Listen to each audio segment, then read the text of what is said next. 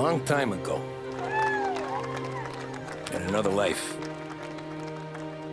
Someone once told me that family is a man's Achilles heel. His greatest weakness. Maybe he was right. Because everything I've done, both good and bad, I've done for my family. I've turned my back on people I thought were my friends.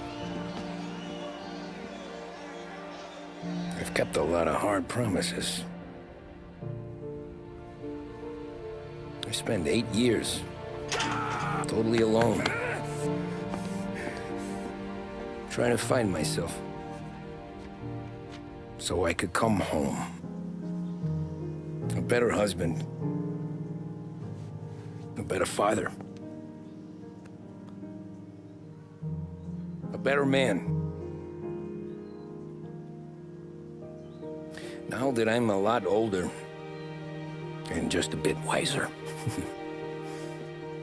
I see that family is our greatest weakness. But it's also our greatest strength.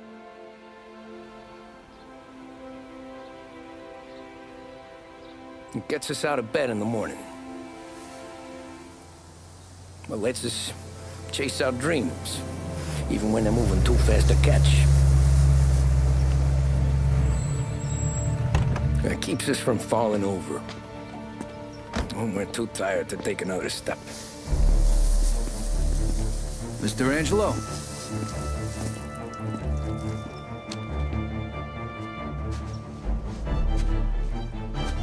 Yes. Mr. Salieri sends his regards. Tommy!